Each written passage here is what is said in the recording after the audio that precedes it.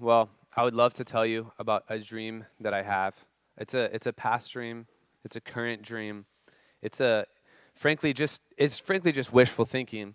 Uh, but my dream is like I just I want a mustache so bad. Like I I do I I I think mustaches are the coolest. Like when I see a dude with a nice mustache, like I will go give him a firm handshake and say, "Hey, man, you know, respect you," because um, uh, it's just it just it does make you cooler. And so um, anyway, uh, I will just say, guys, when you can start when hair follicles start coming out of your face, uh, it, it it's it's annoying in one sense. You got to you know put work into it and everything like that. But it's also kind of fun too because you get to do whatever you want. Like if you want to grow a neck beard, and you think that looks good you can do it. Like just it it you be you. Like yeah, you can do you can do you um, if you want to grow a neck beard. Uh, but I will say this: you can grow whatever you want until you get a girlfriend, and then that changes everything. Um, 99% of the time, it changes it for the better. But in the mustache world, it changes it oftentimes for the worst. Um, I was uh, when we started dating, I was not uh, necessarily growing facial hair. Um, but uh, once I did become growing facial hair, um, I, I was dating Karina. And uh, it was a it was a no-fly zone for mustaches. She just she hates them with a burning passion. She thinks it makes any man look incredibly ugly. Like that's just like what she thinks. Um, which okay, whatever. Uh, so I've tried a few times. Um, I, I've tried a few times uh, specifically in college, there was this one time I grew out a really thick beard um, around wintertime, and it kept my face really warm in uh, the snow. And then I was just like, you know what? I'm just gonna do it. I think we we possibly no, we weren't engaged at the time, but we were we were seriously dating um, at the time. And uh, I was just like, you know what? Just I'm gonna send it, and I'm just gonna shave my beard, and I'm gonna keep the stash. And uh, I think I've never looked better. I mean, I think that's that's I peaked. I peaked that morning. Um, and uh, so I walk out of my dorm, and her dorm is the same place, and we, we meet outside. We're going to walk to class together. And uh, I was just trying to play it cool, like just, I'm not going to say anything, I'm just going to do it. And just like immediately, it was like, disgusting. Shave that off your face right now get out, get out of my face. Like she was so mad at me, and I was just like, okay, um, uh, sorry, we're running late to class. I guess I got to keep it. And then so I did. I, I, took it to my 8 a.m. class, and then I came back and I did shave it after, um, out of respect. Um, but it was situations in which I, I, I tried it, and I still kind of try to. Like I let it grow a little bit and kind of shave around it and see if she notices. She does. Every single time. Um, but if you think about it for a minute, like I've got a face and I've got hair that grows out of my face. You would think, you would think, not all of you have that. You would think I can do whatever I want with my face. And I could do whatever I want with the facial hair that I have. I can groom it in no matter whatever configuration I want to. I, I should be able to do it because it's, cause it's mine. But what we need to see is that something like a, a, mustache, it affects other people if you're in a relationship. What we've been talking about the last couple of weeks of your relationship with God. You think it just affects you because it's you. It is you. It's about you and it's about God. It actually affects, severely affects other people. And so we're going to talk this morning about how your walk with God, it severely affects your relationships with other people. And so therefore I'd love, love for you to open up to the book of Ephesians, Ephesians chapter 4. We're going to see the end of this chapter about this concept of going from death to life, what it looks like to be an old um, non Christian and to be a new Christian. And the difference between those two things we're going to see this morning. Uh, Paul saying to us, Your walk with God, it affects other people.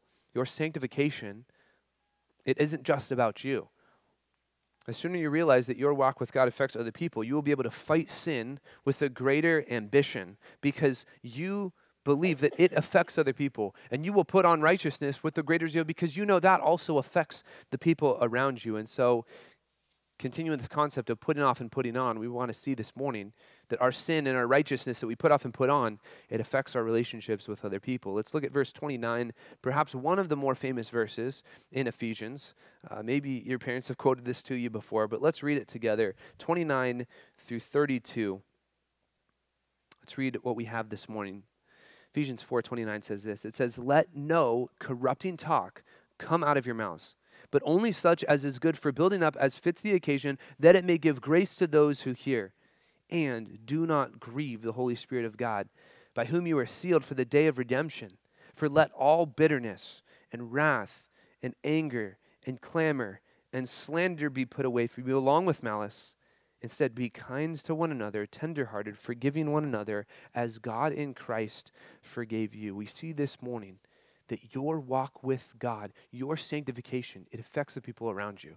And to zoom out for a minute, this whole section of 17 to 32, we've seen this put off and put on. The putting off the old self, and we talk about this in terms of you as a non Christian, your former self, what you used to look like. You're taking that off like dirty clothes, and you're having this new redeemed, pure, sanctified, forgiven self in your new self. And this is now what your life looks like after salvation. So we've been talking about this dirty clothes and the clean clothes, taking off the old self, putting on the new self. And so last week we gave a couple examples from verse 25 to 28, three examples of things that you need to practically put off in your life. We talked about lying, putting on truth telling. We talked about sinful anger, putting on righteous anger, and dealing with it right away. We talked about putting off stealing and putting on honesty and generosity and sharing and hard work with one another. We talked about this concept of you growing in holiness. We used the term last week, sanctification.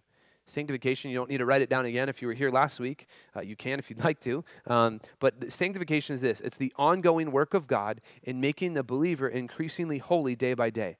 Where this is you putting off the old self more and more every day that you are a Christian, and you're putting on the new self more and more every day as you are a Christian, growing in holiness, putting off sin, and putting on righteousness. So we see here now in community with other people, what does my sin, how does it affect one another? Well, look at verse 29. It says, Your conversations, the words it use, affect one another. Verse 29 says this Let no corrupting talk come out of your mouths.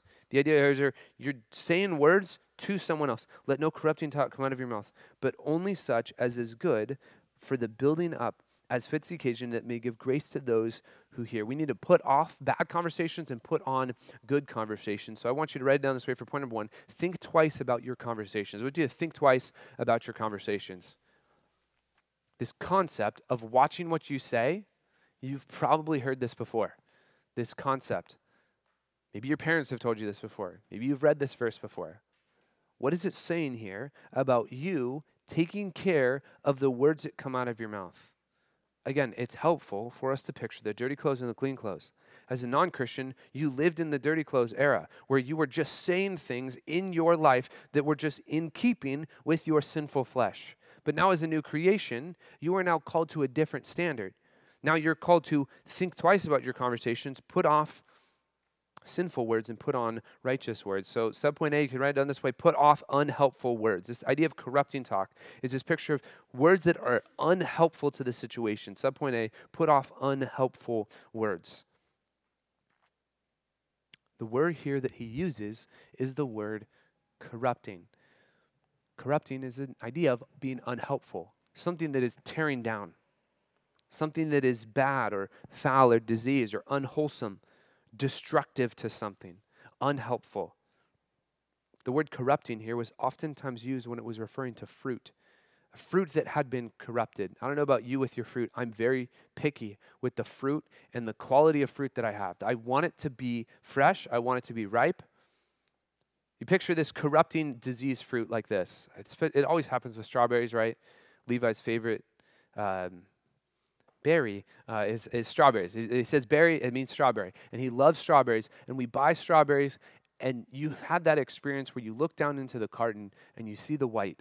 And you know that's not ice, that's not, it got a little cold. You know it's mold. What do you see when you have a strawberry that looks like this? First of all, it's mushy, which I'm not into mushy strawberries. That's number one. But number two, I'm not into mold either. Where you see that and you say, no, I'm going to throw this one and then every strawberry around it that has touched the mold, I'm going to throw it away. And then I'm going to dig and I'm going to see if there's any good ones. And maybe I can eat a good one if I wash it off correctly or whatever. Where you say, no, no, I, I don't want the bad because, why? This is going to hurt me. This is going to be bad. This is going to hurt my stomach. Corrupting talk is this picture of a bad fruit, diseased fruit. Conversations that tear down and are destructive and are unhelpful. I'd like you to turn to Matthew chapter 12 to see this. Matthew chapter 12. Matthew chapter 12, verses 33 through 37. I'd like you to see this idea of corrupting talk that Jesus talks about. A little bit different word that he uses here in this text. But I want you to see that your conversations, the words that you give, that you say that hurt and are destructive, that are corrupting, that are like moldy strawberries, it's actually a big deal. And I would I, I would think most people in this room treat their words as not that big of a deal. You think right now about your last week of life. You probably said some things that you regret, right? You probably said some things that were angry, probably said some things that were selfish, probably said some things that were complaining. You're like, oh man, you feel like you get out of a conversation, you're like, mm, I shouldn't have said that. Nah, everyone does it. No big deal. Once you see if you're a Christian, this actually is a big deal. This is like you eating moldy strawberries. Matthew chapter 12, verse 33, it says this it says, Either make the tree good and its fruit good, or make the tree bad and its fruits bad. For a tree is known by its fruits. The idea here is if you're a non-Christian, you're going to bear good fruit. If you're or sorry, if you're a Christian, you're going to bear good fruit. If you're a non-Christian, you're going to bear bad and corrupting fruit, like the strawberry. He says, verse 34, you brood of vipers, how can you speak good when you are evil? What he's saying here is that if you are not a real Christian, how can you speak what is good in alignment with God? It says, For out of the abundance of the heart, the mouth speaks. If your heart is a heart of flesh, sinful flesh, where you are doing whatever you want and thinking whatever you want, your words, you shouldn't be surprised, are bad. Because what Jesus says here is that whatever your heart is, out of the overflow of your heart, your mouth is going to speak. It says, verse 35, the good person, out of the good treasure, he brings forth good. He's got a good heart, the spirit living inside of him. He brings forth treasure that's good. But the evil person, out of the evil treasure, he brings forth evil. One of the scariest verses in all the Bible, right here. Matthew 12, 36. Look at it. He says this I tell you, on the day of judgment, people will give an account for every careless word they speak. For by your words you will either be justified, or by your words you will either be condemned. This is a scary passage of Scripture because it reminds us that our words matter. And it says here in the last two verses, it says we're going to be judged by our words. In verse 37, it's kind of confusing. You can misinterpret it. And I don't want you to misinterpret it. I want you to interpret it rightly. It says, For by your words you will either be justified, or by your words you will be condemned. The idea here is that God is going to judge your life. And if your life is defined by someone who is enslaved to their sin in the realm of corrupting talk, where you are doing, you, you say corrupting talk all the time, you will be judged by that. And it says here that you will experience the judgment of God.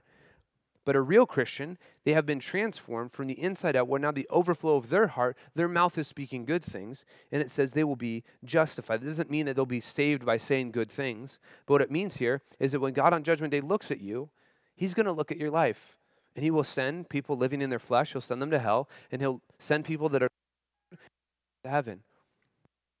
If you are a Christian, I want you to hear this today. Your words, they matter. Even the smallest of complaints, even the smallest of talking back to your mom, those things matter to God. And it says you will stand before the judgment seat of God for every careless word. And I'll tell you what, that's probably a lot of words. That's probably a lot of careless words. That fear that you have right now, and that quiet that has now permeated in this room where you're like, oh, this is a big deal. I want that to affect your Tuesday afternoon when you're at school with your friends and you have an opportunity to have corrupting talk. I want it to affect your Wednesday night where you are in conversations with other people at CSM. Your conversations, they matter. I want you to think right now, but what does your speech look like? Does it look like a good fruit or bad fruit? Picturing these two fruits next to each other, I think is helpful. Which one, honestly, can you say your speech looks the most like? That's a scary question to ask. And I want you to hear I'm not saying speak more good things and you will be saved. That's not what I'm saying at all. What I am saying is real Christians, their speech reflects the heart that they have inside of them. We're a Christian, they, their, their heart is made new and their words are now made new. You should want to stay as far away from that as possible. We talked about this actually a couple weeks ago in Ephesians 4 verse 17, where it says, You must no longer walk as the Gentiles do. remembering your old self and saying, I want to stay as far away from that corrupting talk that I used to talk in all the time. Don't be content with occasional slip ups because you know what? Everyone does it. But say, no, I'm going to be serious about this because my speech matters to God. And I'm going to stand before the judgment seat of God one day and He's going to judge me for it. Which means the conversations that you have, you need to be praying more often about them. I want you to write this one down. Psalm 141, verse 3. Psalm 141, verse 3. Listen to what the psalmist says here. This prayer that he offers to God. He says this He says, Set a guard, O Lord, over my mouth, and keep watch over the door of my lips. What if you prayed that before you went to school? What if that was something that you were thinking and meditating on when you were at CSM? What about when your mom tells you to do something you don't want to do it? What if this was on your mind? What if when someone says something mean to you and you have an opportunity to lash back out, what if this is something that you were thinking about because you've memorized it, you're meditating on it, and you're praying it? Pray for your conversations, for your words with other people. Something that I try to do oftentimes to myself is ask myself the question is this conversation, is it a helpful conversation or is it an unhelpful conversation? And oftentimes that helps tell me if I should be in this conversation or not in the first place. Is this a helpful conversation or is this unhelpful? If it doesn't build up, then you should get out of it or you should help other people stop having that conversation. Some example of some help of some unhelpful corrupting words would be things like gossip and slander, putting other people down, bullying one another. What is that? That is you taking someone down, pulling them down, destroying their reputation, making them look worse than they really are because you selfishly want other people to view them lower. Another word for that is defaming. Defaming is this idea of taking something that looks good and then tearing it down and, and messing it up and destroying it. Your conversations, do they defame other people or do they build up other people?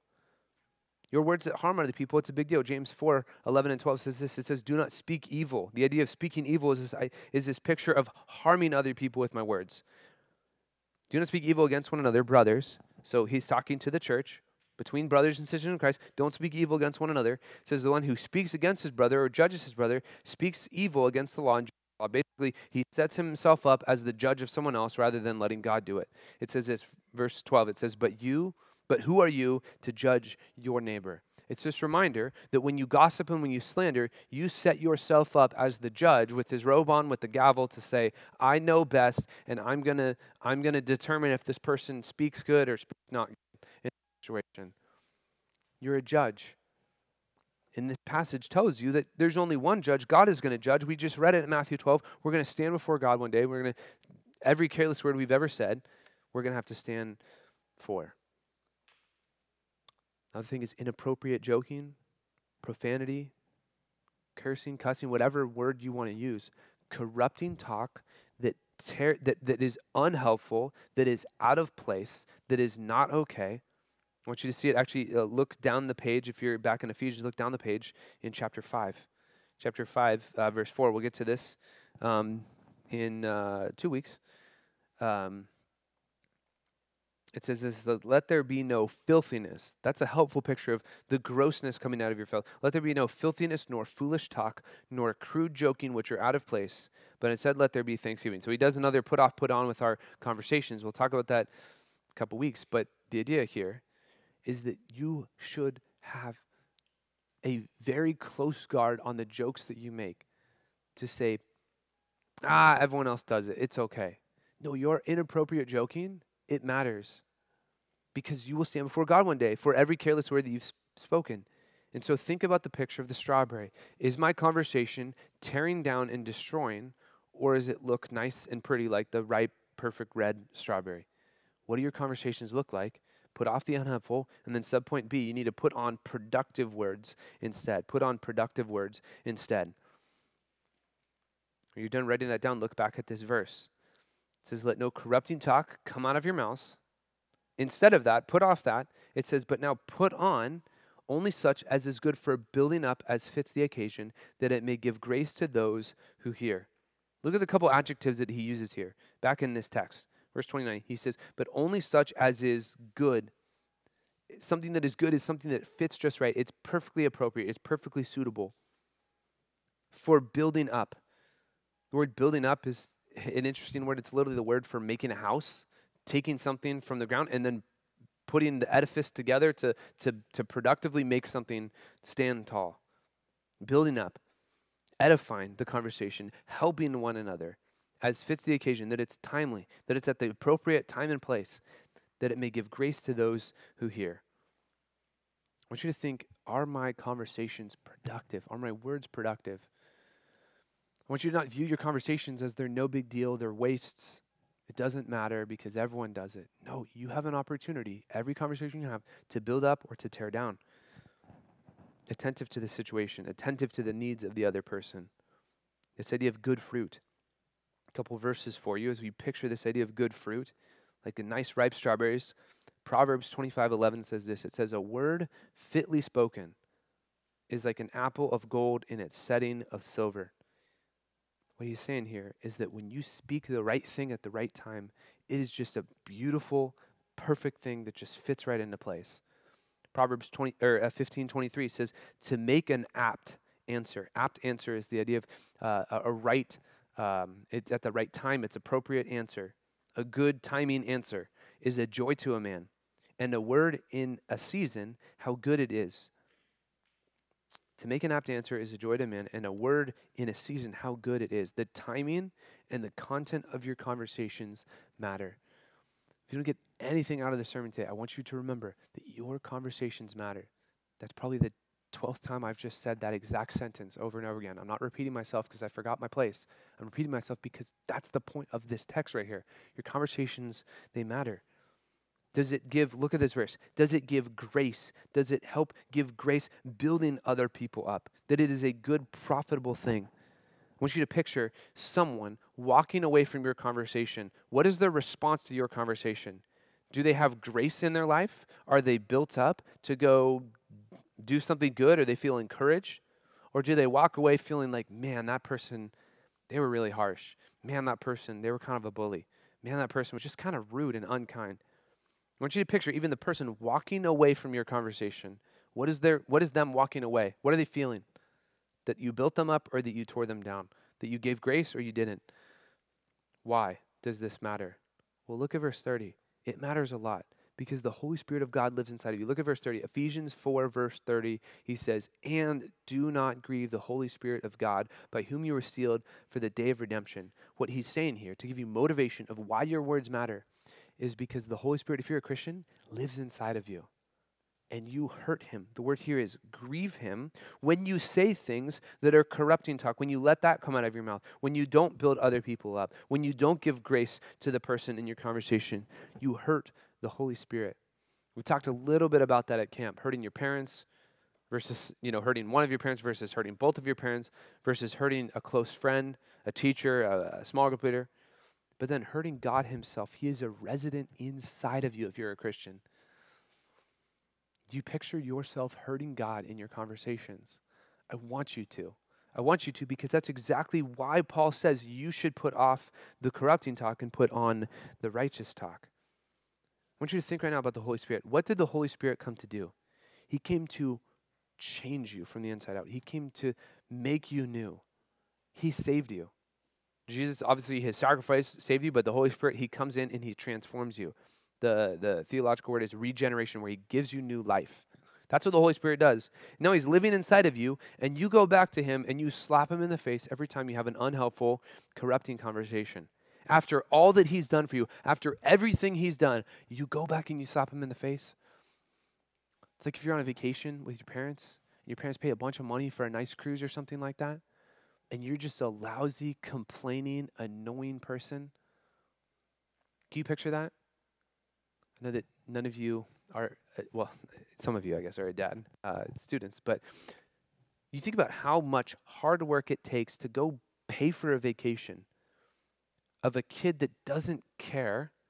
And then now, what it's describing here is the one that has paid all of this money for you to be on it. Now you're going back to him and you're hurting that person. Complaining, getting mad at, pointing the finger at your dad after he's paid for you to go on vacation is what I want you to picture here when it shows what the Holy Spirit has come to do and you hurting him. after all that he's done. We're putting off hurtful words and we're putting on helpful words. Put off and put on. That's the picture that I want you to have of this unhelpful and this profitable and productive words. Thinking twice about our conversations, but look at where he goes next. He just kind of puts a conclusion sentence in which he kind of sums everything up with a bunch of different sins and a bunch of different virtues together. Look at verse 31.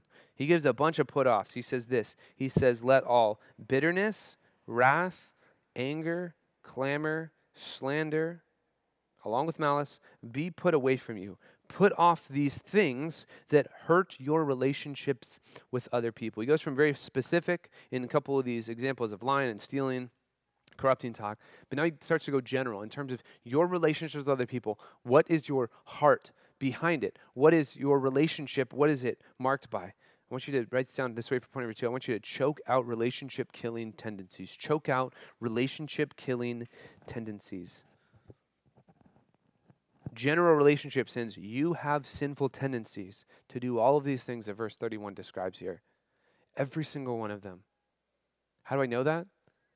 Because one, that's every human being. Two, I experience all of these. Three, I've watched you play a bunch of these out in your life as well. Bitterness. You ever been bitter before? Wrathful, angry, clamorous, which means you're yelling anger, slander, tearing other people down, having malice, destructive um, uh, feelings and and uh, desires for other people, hoping that they fail. Every single one of us, in our sinful flesh, all of these are in there. Every single one of them. And so when you live according to the flesh, you grieve the Holy Spirit. And these are things to look out for, to just kind of pair them off so you can see them a little bit more um, systematically. It says the first one says bitterness, wrath, and anger. These are all more internal, inside the heart. So, subpoint A, I want you to do this. I want you to choke out Subpoint A, internal bitterness. The things, the sinful programming that you have inside of you. I want you to treat your internal bitterness as a big deal. what I mean by bitterness in this point is I'm trying to kind of summarize these three here of bitterness, wrath, and anger. So to summarize all three, I give you one, is the idea. But bitterness, I hope I don't have to explain and define this to you too much. Bitterness is this desire that you have inside of you that is this foul and gross uh, view of somebody else, an intense maybe hatred or resentment from someone else inside of you, where you look at them and you get upset. Wrath and anger are obviously very close synonyms there of, of, of sinful reactions or, or harboring anger within one's heart. And it says here that you need to make sure that this doesn't come out. He says, let it all be put away from you, put off with your old self. This idea of bitterness elsewhere and when it's translated as a verb it's translated as the word harsh. It actually shows up in colossians 3.19 when it's talking to husbands. It says husbands love your wives and it says this do not be harsh with them. That's the verb form of bitter. So if, if you need to see what bitterness looks like in real life it looks like harshness. It looks like you um, this resentfulness and, and ill feelings towards someone else. It, it comes out now in your relationship with them. And look at this verse here Again, not to break down husbands and wives right now. We'll get to that actually in a couple weeks as well. But look at this. What it says for husbands to do. It says, love your wives and do not be harsh with them. Do you see how it gives a put off and a put on? Where the opposite of love is for you to be harsh and bitter towards someone else. They're opposites, they're antonyms. So, how do I know if I've got wrathfulness, if I've got anger, if I've got bitterness in my heart towards someone else?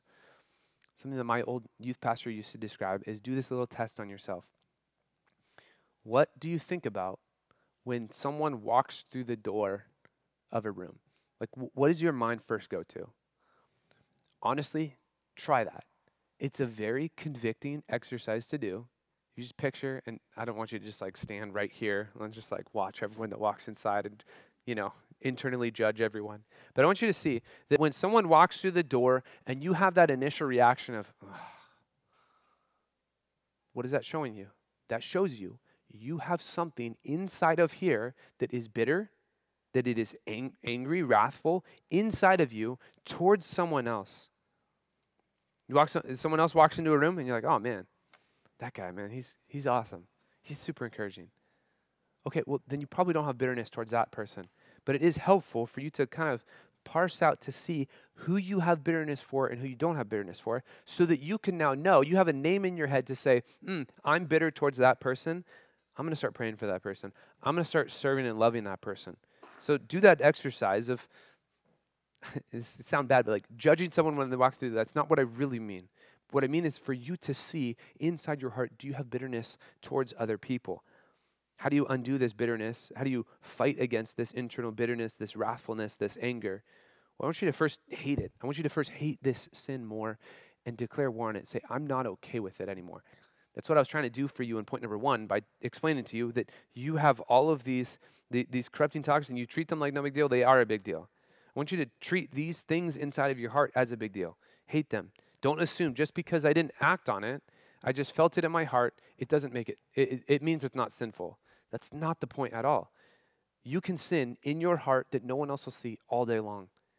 Treat the sin in your heart as a big deal. And then also try to figure out why you feel that.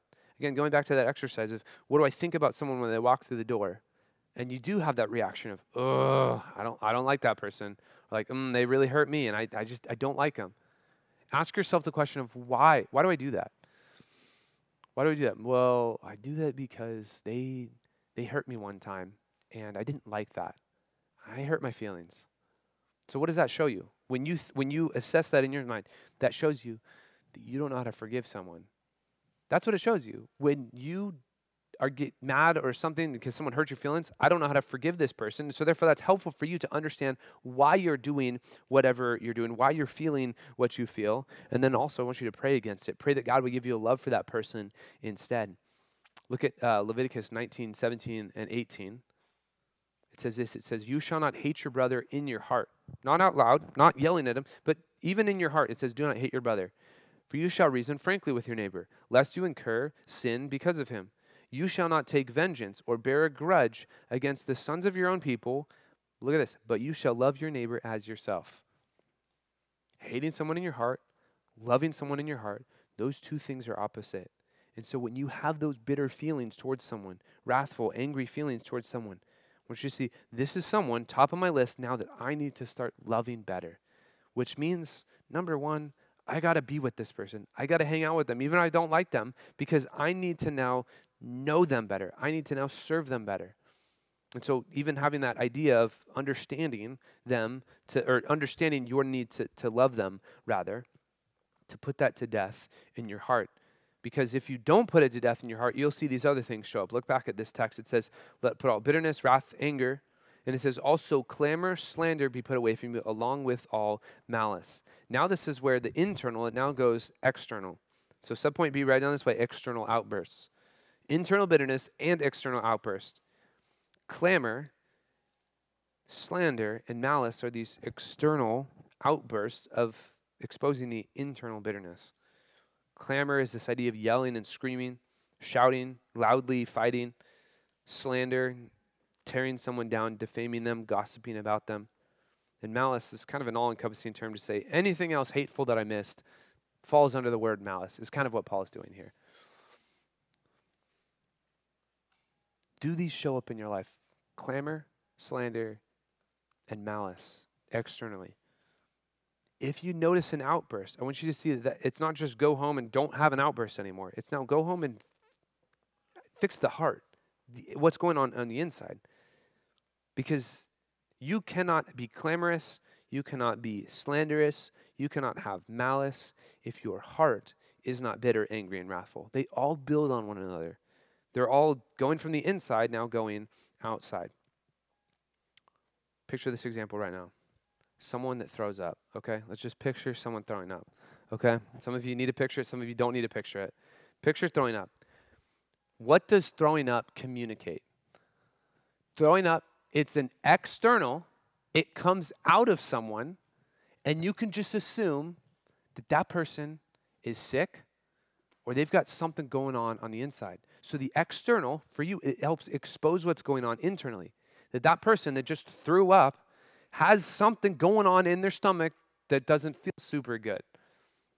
whether it's ate something bad, whether it's just stomach flu. The external exposes what's going on internally, just like these right here. The external of outbursts and getting mad, it exposes what's going on inside the heart. The angry heart exposes itself as angry outbursts. And so, therefore, if you want to stop being angry in an outburst way, you need to work on your angry heart. Stop clamoring, slandering, malicing against one another. Same thing to do, same process of putting it to death as I just gave you for the subpoint A. Hating it, figuring out why it's there, praying against it, repenting of it, confessing it, asking for accountability on it, loving and serving that person instead. Outbursts, internal bitterness, they go together and they expose one another.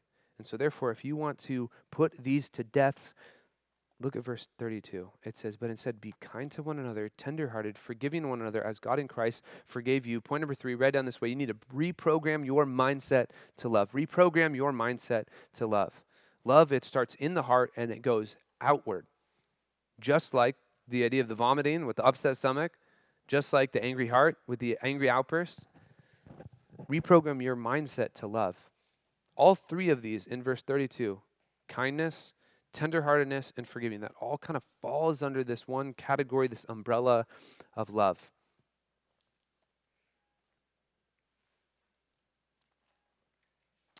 PE is defined this term love many times. He even defined it actually in the main service just a couple minutes ago.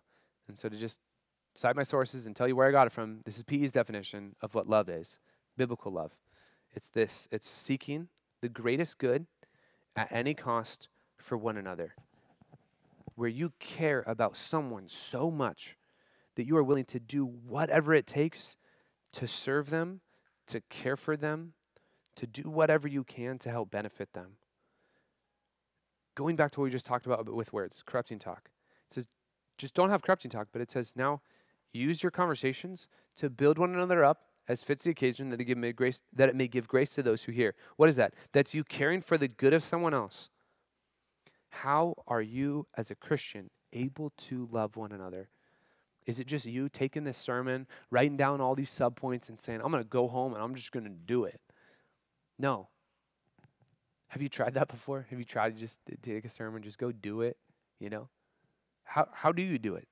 Well, first of all, you have to be transformed by God's love first and have a high view of what God did for you. 1 John 4 7 and 8 says this It says, Beloved, let us love one another why? Because love is from God, and whoever loves has been born of God and knows God. So therefore, you love other people, it exposes that you have a relationship with God.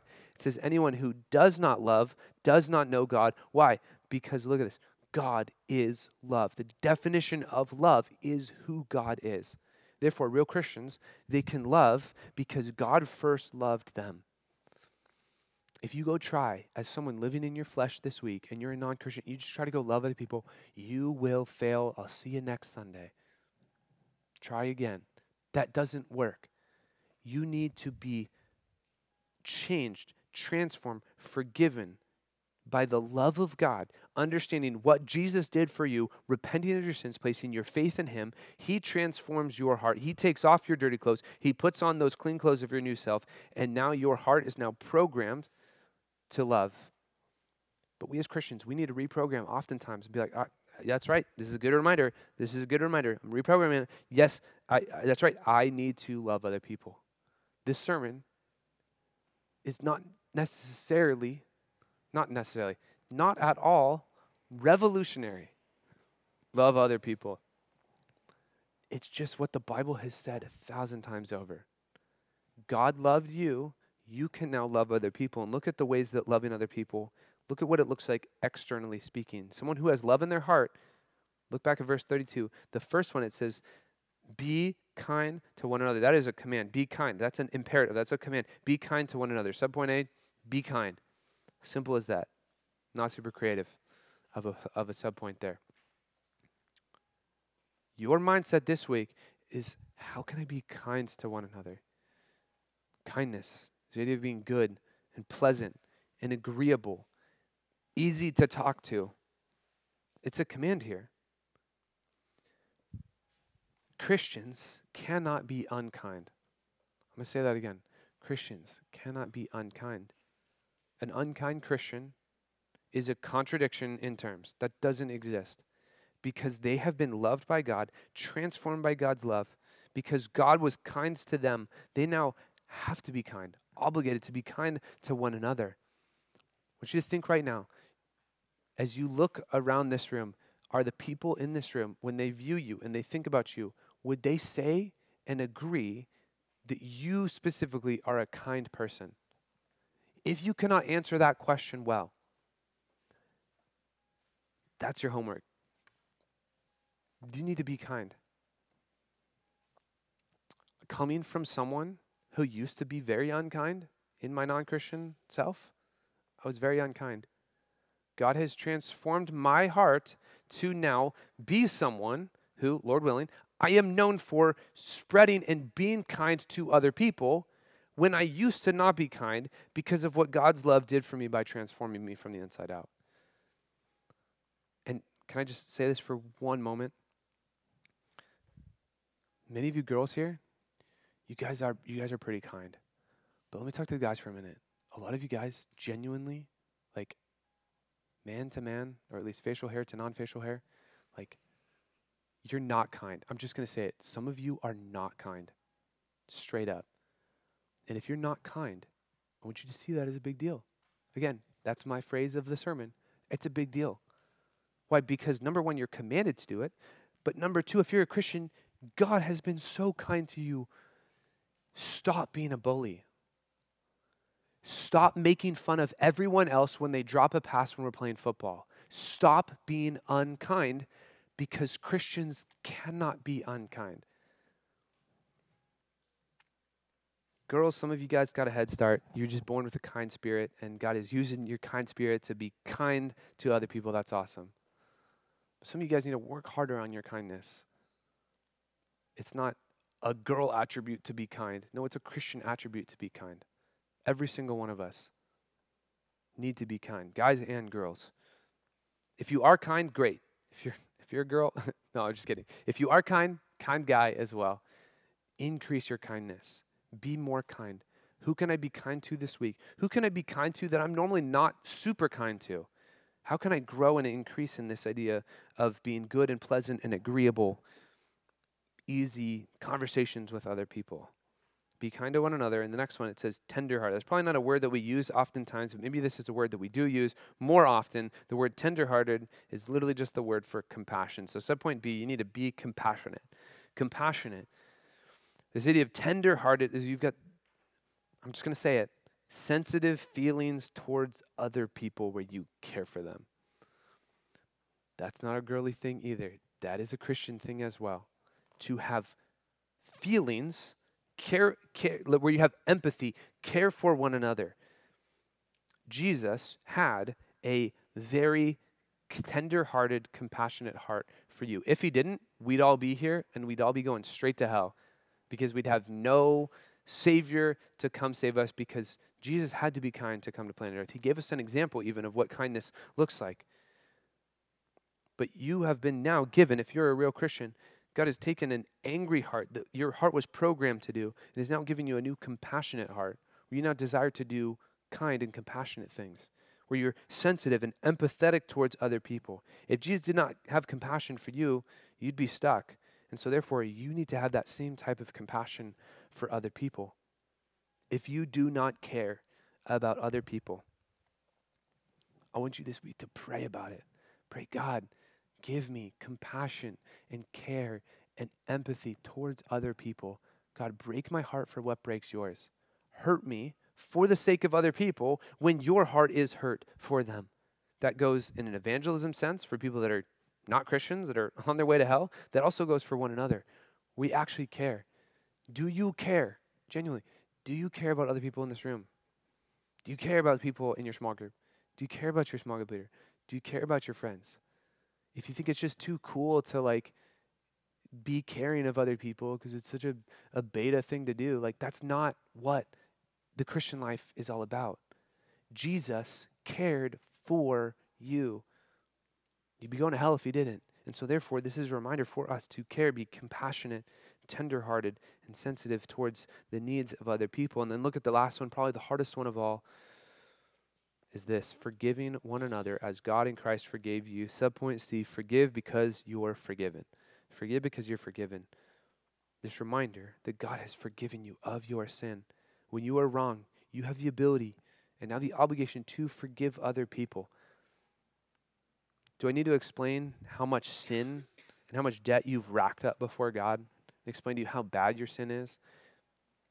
I hope I don't need to explain that to you because you picture Jesus Christ hanging on a cross. What is that? Yeah, that's kindness. Yes, that's compassion. But that's Him dying so that you could be forgiven, so that your debt can be paid. Therefore, you, since your debt can be paid and you understand how bad your sin is, you can do that for other people. Psalm 103, 11, and 12 says this For as high as the heavens are above you, so great is his steadfast love to those who fear him. Look at this verse. As far as the east is from the west, so far does he remove our transgression from us. God has forgiven you from so much sin. When people sin against you, it is a small little fraction of what you've done to God. Who are you to not forgive your brother when God has forgiven you a giant debt? And I'll tell you this this is the hardest one in the list for sure. Absolutely the hardest one in the list because when people wrong you, what do you want to do? You want to lash back out. You want to provide justice. You want to make them feel bad. You got to forgive because look at how far your sins have been moved away from you. East is from the west. You could go east forever. You could go west forever. You're never going to go back the other direction. That's as far as God has removed your transgression, your sin from you harboring resentment in your heart, bearing grudges against one another. That is so unchristian. That is so ungodly. Yes, it hurts when people offend you, it hurts when people do wrong things to you. But you've been forgiven way more than anyone could. You, you've done so much more wrong to God than, you, than someone else could ever do to you. Therefore, you can forgive this much because God has forgiven this much. Be kind, be compassionate, forgive one another putting off bitterness, wrath, anger, clamor, slander, malice, putting on kindness, compassion, and forgiveness with one another. Hopefully, these last two weeks have given you a picture of what the Christian life looks like. Just to recap our past two weeks the old dirty clothes and the new clothes. Hopefully, you're seeing these put off and put on in your life. The first one we talked about was lying and truth telling, sinful anger and righteous anger, and conflict resolution. Putting off stealing, putting on hard work and sharing, putting off unhelpful words, putting off productive words. And to sum it up, as best as I could, putting off selfishness and putting on love. Let's go live like people who have been transformed, who have been given new clothes, new creations this week, living out these, putting off and putting on. Let's bow our heads and pray right now. God, we thank you for loving us so much. God, as we even just briefly talked about, the forgiveness that you've offered to us is far more than we could ever truly understand. And God, every student in this room has racked up a giant debt of sin towards you. And God, you've loved them. You've loved me and forgiven us and me for our sins. And God, this week, when people hurt us, when there is temptation to be wrathful and angry and slanderous and clamorous and bitter towards other people. God, give us this love that only you can provide for us. We cannot just manufacture this on our own and go try to apply a sermon because we heard something about loving other people. But God, you have to do this inside of us through your Holy Spirit. So I do pray that you would do that this week. In my life, you do that this week, in, these students' lives, in these leaders' lives. God, that we would look less like the world, less like our flesh, and more and more like Jesus Christ each and every day, loving and caring, compassionate and kind like he was. We pray these things in Jesus' name. Amen.